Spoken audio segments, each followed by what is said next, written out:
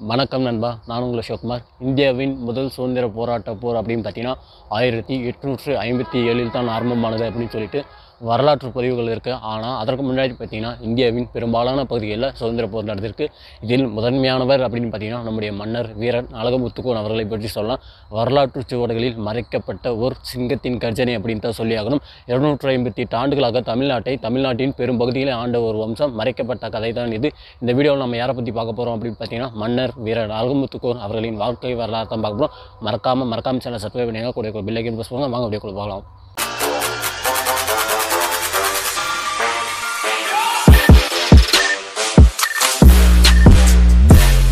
வணக்கம் நண்பா. அழகு முத்துக்கோன் அப்படின்னு சொல்லப்படக்கூடிய இந்த பெயர் பார்த்தீங்கன்னா நம்முடைய மன்னருக்கு மட்டும் கிடையவே கிடையாது. இருநூற்றி ஐம்பத்தெட்டு ஆண்டுகளாக பார்த்தீங்கன்னா நம்ம தமிழ்நாட்டின் பெரும் பகுதிகளில் வந்து ஆட்சி செஞ்சுருக்காங்க. அதில் பார்த்தீங்கன்னா கிட்டத்தட்ட இருபதுக்கும் மேற்பட்ட தலைமுறையினர் வந்து ஆட்சி செஞ்சுருக்காங்க. அந்த இருபதுக்கும் மேற்பட்ட தலைமுறையினருக்குமே என்ன பேர் அப்படின்னு பார்த்தீங்கன்னா அழகு முத்துக்கோன் அப்படின்னு ஒரே ஒரு பெயர் மட்டும்தான் உண்டு.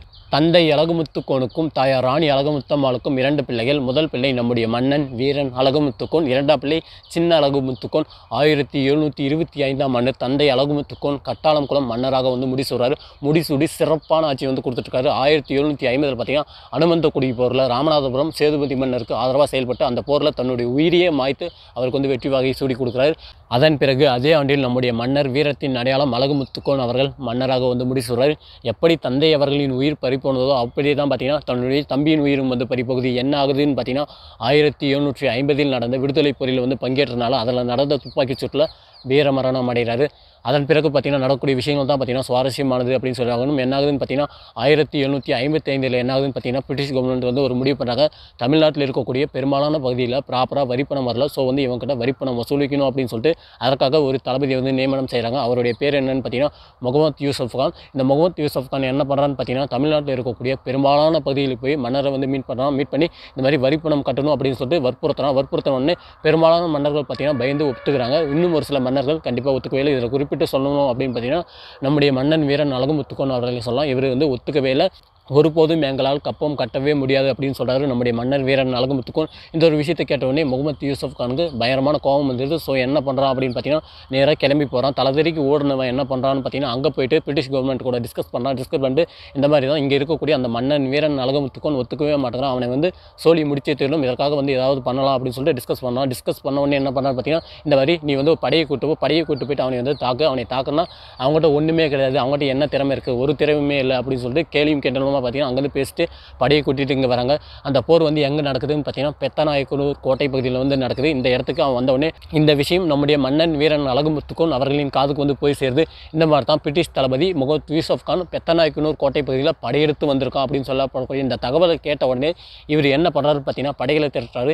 இருநூற்று நாற்பத்தி எட்டு பேர் கொண்ட ஒரு படையை பெரும் படையை வந்து திரட்டுறாரு. அந்த காலகட்டத்தில் இருநூற்று நாற்பத்தி எட்டு பேர் சேர்க்குறதே பெரிய விஷயம். ஏன் அப்படின்னா இப்போ இருக்கக்கூடிய சுச்சுவேஷன் நம்ம வந்து லட்சக்கணக்கில் இருக்கலாம் கோடிக்கணக்கில் இருக்கலாம். ஆனால் அந்த காலத்தில் இருநூற்றி நாற்பத்தி எட்டு பேர் அப்படின்றதே பார்த்தீங்கன்னா மிகப்பெரிய படை. எந்த வித டெக்னாலஜியுமே இல்லாத அந்த காலகட்டத்தில் இருநூற்று நாற்பத்தெட்டு பேர் கொண்ட மிக பெரும் படையை வந்து திரட்டிட்டு போகிறாரு நம்முடைய மன்னர் வீரன் அழகுமுத்துக்கோன் அவர்களுடன் சேர்த்து ஆறு படை தளபதிகள் நம்முடைய மன்னர் உட்பட ஏழு பேரும் பார்த்திங்கன்னா அந்த பெத்தநாயகனூர் கோட்டை பகுதிக்கு படையெடுத்து போகிறாங்க ஒரு புறம் பார்த்தீங்கன்னா முகமது யூசப் கான் பீரங்கி துப்பாக்கியோட தயார் நிலையில் இருக்காங்க. இந்த பக்கமாக பார்த்தீங்கன்னா நம்முடைய மன்னர் உட்பட இருநூற்றி நாற்பத்தெட்டு படை தளபதிகள் இவங்ககிட்ட இருக்கக்கூடிய ஆயுதம் அப்படின்னு பார்த்தீங்கன்னா வில்லும் வாழும் மட்டும்தான்.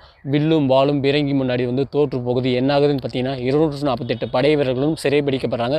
சிறைபிடிக்கப்பட்டு ஒரே சங்கிலியால் பிணைக்கப்படுகின்றனர் அதன் பிறகு ஆறு படை தளபதிகள் நம்முடைய மன்னர் உட்பட ஏழு பேரும் பார்த்தீங்கன்னா ஒரே சங்கிலியால் பிணைக்கப்பட்டு ஒரு புறம் நிறுத்தப்படுகின்றனர் ஒரு கணமுமே யோசிக்கலாம். அந்த முகமது யூசப் கான் ஒரு கணமுமே யோசிக்காமல் என்ன பண்ணோம் அப்படின்னு பார்த்தீங்கன்னா இருநூற்று நாற்பத்தெட்டு பேரும் வந்து சுட்டு சாய்க்கிறான். ஏன் அப்படின்னு பார்த்தீங்கன்னா எங்களை எதிர்த்து எங்களை எதிர்த்து கப்பம் கட்ட முடியாதுன்னு சொல்லுவீங்க. அது மட்டும் இல்லாமல் படையெடுத்து நீங்கள் வருவீங்க. அந்த அளவுக்கு உங்களுக்கு தைரியம் இருக்கா அப்படின்னு சொல்லிட்டு இருநூற்றி நாற்பத்தெட்டு படை வீரர்களையும் ஒரு கணமும் யோசிக்காமல் சுட்டு சாய்க்கிறான். அதன் பிறகு ஆறு படை தளபதிகள் நம்முடைய மன்னர் உட்பட ஏழு பேரும் பார்த்தீங்கன்னா ஒரே சங்கிலியால் பிணைக்கப்பட்டு ஒரு புறம் வந்து நிறுத்தி வைக்கப்பட்டிருக்காங்க.